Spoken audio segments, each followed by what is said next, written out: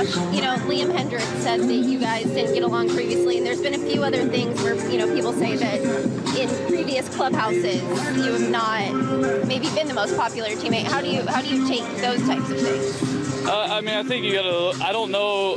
I know Liam's come out a couple times and said some stuff uh, about me.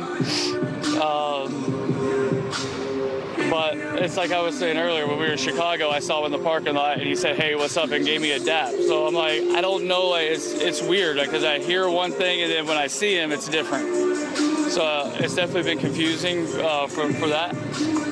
I'm not saying that every one of my teammates I've always been best friends with, but when it comes to playing the game and trying to help my teammates, I think you can see by the way that I play the game, like I care not just about myself, but I care about my team, and I try to do my best to help us win.